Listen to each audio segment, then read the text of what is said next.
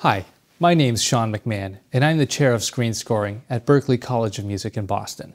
Orchestration is one of my favorite topics in film music, and I've spent most of my career as an orchestrator. Some of my orchestration credits include Spider Man 3, Ghost Rider, Fantastic Four, Rise of the Silver Surfer, and many more. In this episode of Virtual Orchestration, I'll be talking about orchestrating for strings specifically.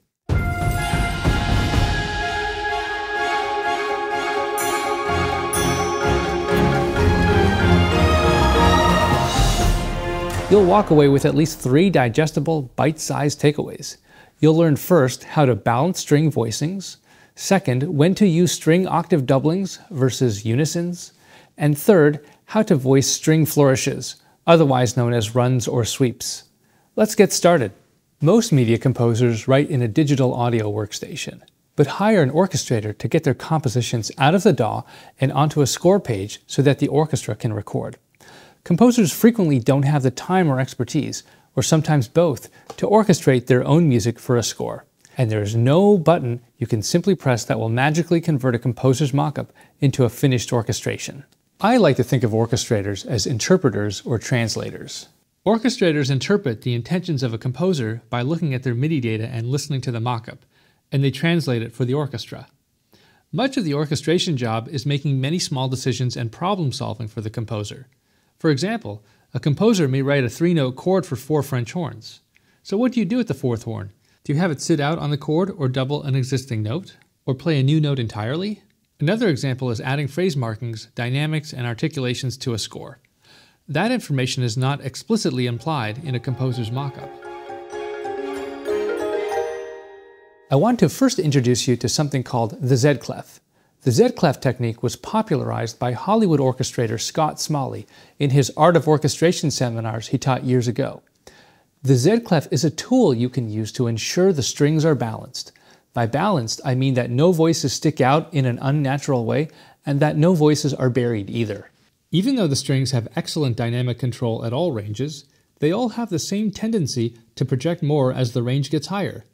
The lowest notes and highest notes of each string instrument fall in approximately the same place in their respective clefs. Their lowest notes fall 1 to 2 ledger lines below the staff, and their highest about 5 to 6 ledger lines above the staff. The Z clef is a fictitious clef that shows the placement of each instrument's note in a voicing within its common or default clef. When a voicing is plotted on the Z clef, the closer the notes are clustered together, the more balanced the voicing will sound. To achieve optimal balance, all the notes within the voicing should fall within a range of a sixth when plotted on the Z clef. Let's take a look at this example which depicts a C major voicing for strings with some of the instruments divided. At first glance, there seems to be nothing wrong with this voicing. Now, let's plot this chord on the Z clef to see where each instrument's note falls relative to the others. The closer the notes fall together on the Z clef, the more optimal the balance and blend will be. Remember, for optimal balance, keep the voicing clustered within a sixth on the Z clef. To use the Z clef, simply transfer the notes where they fall in their common or default clef to a new stave. Always use alto clef for violas and bass clef for cellos and basses when you plot the pitches on the Z clef. This is essential. For the contrabass, which is a transposing instrument, the Z clef always makes use of the written or transposed pitch, not the sounding or concert pitch. This is an important distinction as the Z clef's accuracy to predict balance breaks if the sounding pitch is used for the contrabass. There's a spread of a 14th interval from top to bottom, which greatly exceeds a sixth. This voicing will sound quite unbalanced. The instruments towards the top of the Z clef, such as the contrabasses and violas, will tend to stick out in an undesired way. This next example shows a more balanced solution to the same chord, C major. When this voicing is transferred to the Z clef, all the notes are tightly clustered within a sixth. This voicing is much more effective because it's balanced there are no notes that stick out or that are buried. It's not always possible, or even desirable, to employ the Z clef and keep all the notes of the voicing contained within a sixth. Sometimes it's impractical to be faithful to it for an entire piece, or even an entire phrase, but it's a good starting point when first learning how to compose for strings. Don't think of the Z clef as a rule, rather, think of it as a guideline. Now, let's take a look at the next example, which provides some musical context to better understand the Z clef. This is a cue from Christopher Young's score to Ghost Rider. The strings function as pads that support the nylon guitar lead line. The strings are voiced below the guitar melody so as not to compete with it in terms of range. The first four bars of the strings, the downbeats only, are plotted on the Z clef below the cellos. Notice how the voicing is clustered within a fifth. Let's have a listen.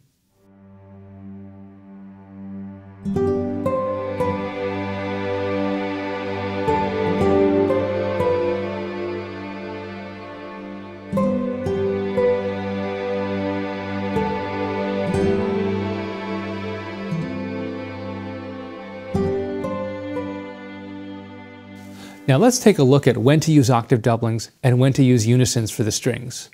When composers want to make a bold statement, often they assign all of the strings, excluding the contrabasses, to carry the melody. The question then is how to voice them. Do you spread the strings out across multiple octaves, or do you assign them to the same octave? The answer is it depends. If you want projection, meaning to stand out and be heard, the best solution is to spread the melody across multiple octaves.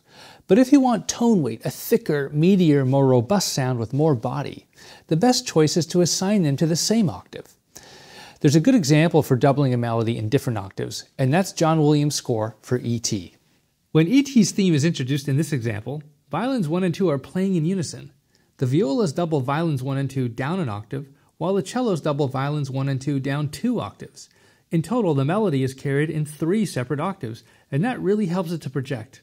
Notice how the melody voicing adheres extremely closely to the Z clef principle. The voicing is clustered in thirds throughout, creating optimal balance. Now let's have a listen.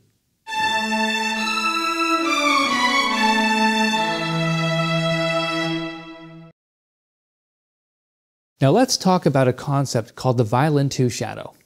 Often, when the first violins soar high into the ledger lines of the treble clef, the second violins don't follow in unison. Instead, the second violins double the passage down one octave from the first violins. This, in and of itself, violates the Z clef principle because the goal is to keep voicings clustered within a sixth or as closely as possible. But in cases where the second violins double the first violins down an octave, the second violins are not meant to be heard, or at least heard well. I know that may sound a little odd and counterintuitive.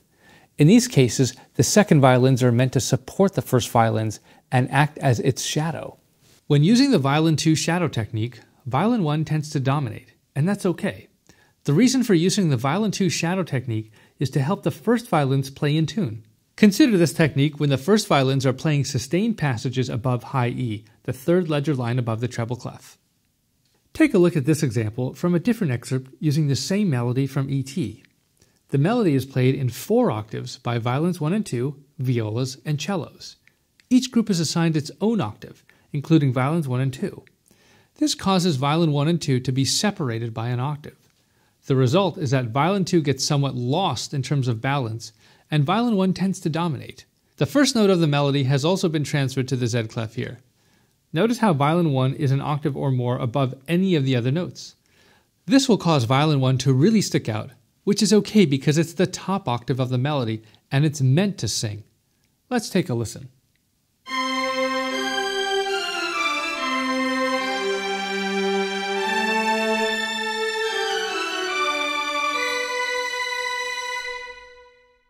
Let's discuss string unisons now.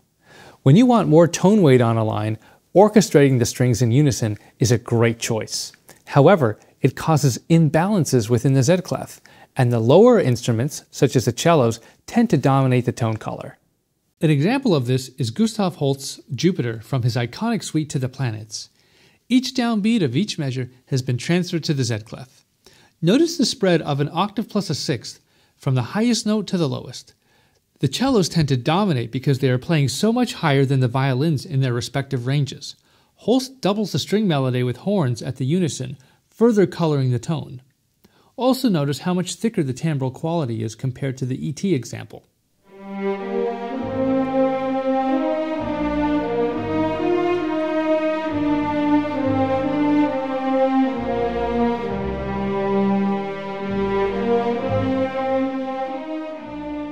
An orchestral flourish, also known as a run or sweep, is a short gesture, usually just one to three beats in duration. The notes are comprised of some sort of scale, and the flourish climbs the scale in stepwise motion and ends on an accented target note, which is frequently a downbeat. Because flourishes are, by their very nature, quick and dense with notes, they favor octave doublings for projection, as opposed to unisons for tone weight. Having the timbre too heavy or thick will act like an anchor on the flourish, which needs to provide forward motion. Always try to orchestrate a flourish in at least two or more octaves so it projects. Coupling a flourish, let's say by harmonizing it in thirds, tends to decrease the propulsion and forward motion. When orchestrating a flourish for strings, it's usually a good idea to stay faithful to the Z-clef principle.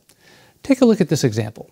This example assigns violin 1 to the top octave of a flourish, violin 2 to the octave below, violas 2 octaves below violin 1, and cellos 3 octaves below violin 1.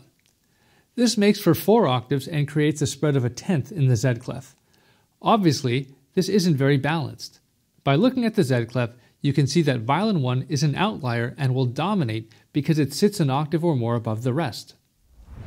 To correct the imbalance of the previous example, violins 1 and 2 should be reorchestrated in unison, with the violas down one octave from the violins and the cellos down two octaves from the violins. This will create a much more balanced sweep, as seen here. Notice how the Z clef voicing is contained within a third. Well, that brings us to the end of this video. Have you ever written for live strings as opposed to your samples? If so, what was your experience like? What difficulties did you encounter? And what did you learn? Just let me know in the comments, and I'll see you in another episode of Virtual Orchestration.